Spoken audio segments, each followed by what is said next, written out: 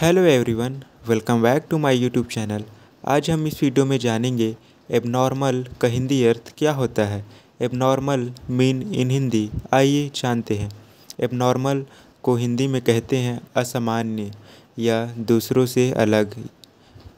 आइए इसे एक एग्ज़ाम्पल से समझते हैं।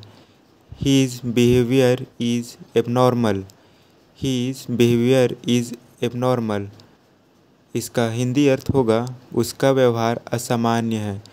उसका व्यवहार असामान्य है। यहाँ पर बिहेवियर का अर्थ होता है व्यवहार व्यवहार।